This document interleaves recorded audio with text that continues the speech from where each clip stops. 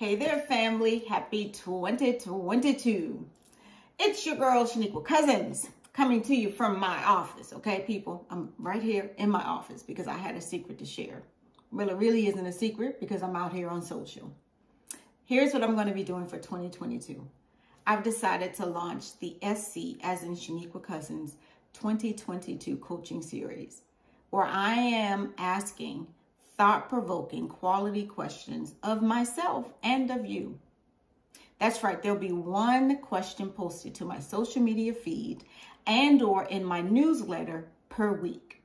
So if you're on my newsletter, you're going to be receiving questions in your inbox. And if you're uh, one of my family members out on social media, you're going to see the questions on the social media feed. Now, here's what I've learned about coaching. And here's what I've learned about working with clients and partners is that it's not about having all the right answers as a coach. Instead, it is vitally important that coaches, myself included, ask the right quality questions.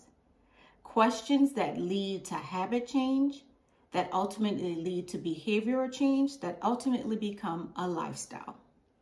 And so, what I want to do for us this year and again, I'm including myself, is take time to really, one, think about what we're thinking, and also give ourselves space to really just journal and have a guided discussion all year long. So with that said, I wanted to be the first to present the question, the first question of 2022. I mean, who else will be presenting the first question of 2022 and the SC coaching series? Okay, just, just hold, hold it, hold on.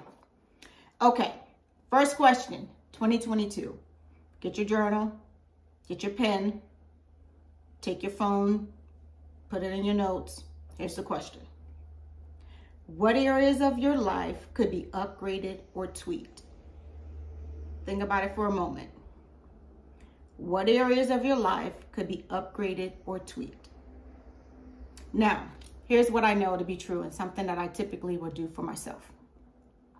There's always, before we can see things, we see things in here, right? And the image and the uh, the vision of what we have for our lives, it always holds true in here first, right? Before we can actually see it before our eyes, we must first off, we have to uh, take actions. We must speak words that align up with the vision that we have for our lives. We must be in alignment with the vision that we have for our lives. We must be willing to ask ourselves quality questions. We must be willing to take quality action steps toward the vision that we have here before we can see it out here.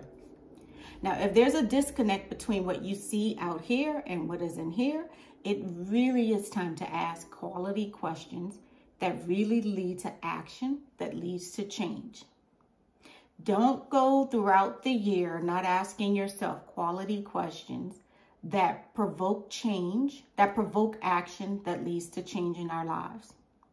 So I'm going to be here with you all year long. That's right, all year long. One question per week because I ultimately want to see um, bigger, better, best, different for my life as well as yours.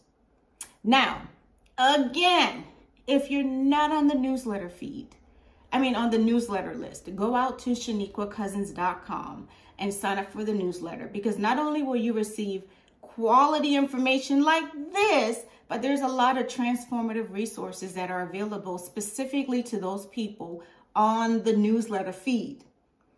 Now, Next week, we'll have a different question, so stay tuned to the social media feed and or in your email inboxes because it's coming directly to you.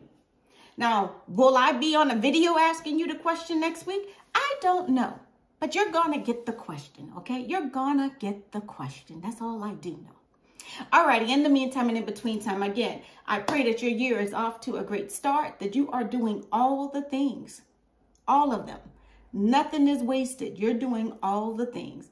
And again, I hope that you're willing to embrace asking yourselves the quality questions in order to lead, in order to create habit changes that, that lead to behavioral changes that ultimately lead to a different lifestyle in 2022.